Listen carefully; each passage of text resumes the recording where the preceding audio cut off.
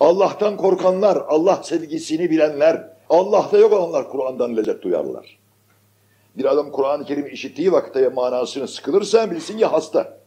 Hastaya bal tattırırsan tatlı bal acı gelir hastaya. Neden? Çünkü mizacı bozuktur. Onun için kim ki muttakidir Allah'tan korkar, kim ki Allah'ı sever, Allah'ta yok olmuştur. Allah'tan geldiğini ve Allah'a gideceğini düşünür. Bu kimseye Kur'an söyler. Kur'an buna lezzet verir, zevk verir, hidayet verir. Feth fütuh verir, necat verir. Şifadır müminlere Kur'an. Onun Cenab-ı Allah Kur'an-ı Kerim birçok yerlerinde Kur'an'ın şifa olduğunu söylüyor.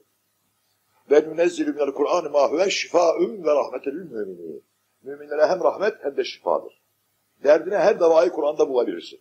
Mutlaka Kur'an'ı okuyacaksın, okuman lazım. Eğer burada okumasan kabirde sana Kur'an'ı okutacaklar melekler.